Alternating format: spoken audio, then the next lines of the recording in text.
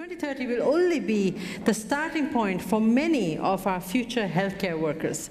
Some of that workforce will be trained, we hope, in Dublin. And I would like to welcome Dean Professor Mary McCarron from Trinity College Dublin, where many of our healthcare workers are trained and a co-organizer of the forum, of course.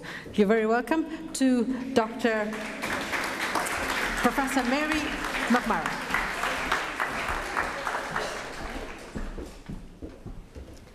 Thank you very much.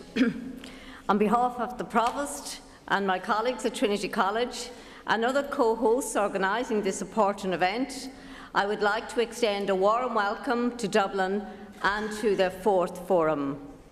We are proud to be working with the two Irish government departments, the Health Service Executive, voluntary organisations, the Global Health Workforce Network and the World Health Organization to bring the key stakeholders together in Dublin.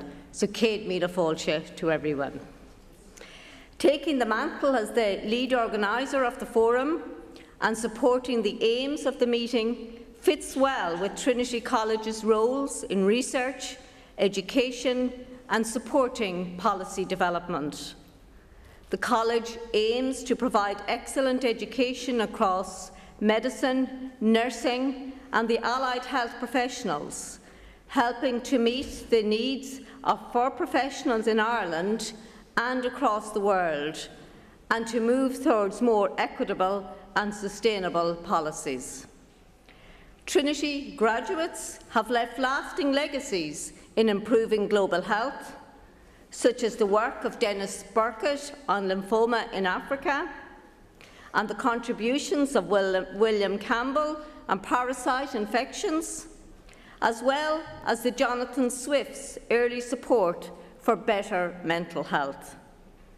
And more recently, there has been a strong research focus on strengthening health systems, understanding better health contributions of new healthcare professionals, and improving retention and motivation of health professionals.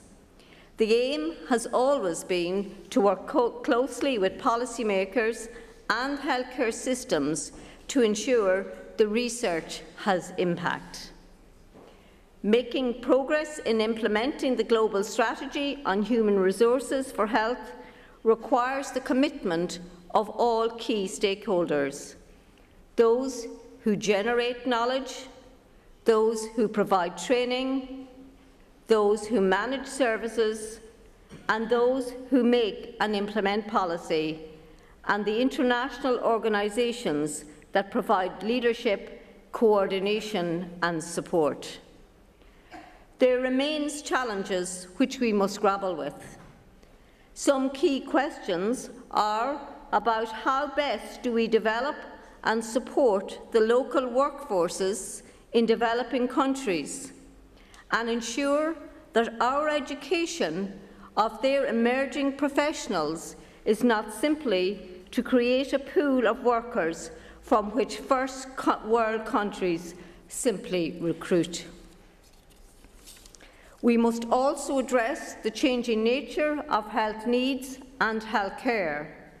How must both our healthcare approaches and our health workforce training change so that we reinvent an acute care-focused healthcare approach to better serve the reality of patients more likely now to present with chronic health conditions. This forum is above all about supporting moves to accelerate the implementation of the strategy. We are proud to be part of this effort and we are committed to play our part in the drive to create a sustainable skilled workforce to support universal access to high-quality health services across the world. Many thanks.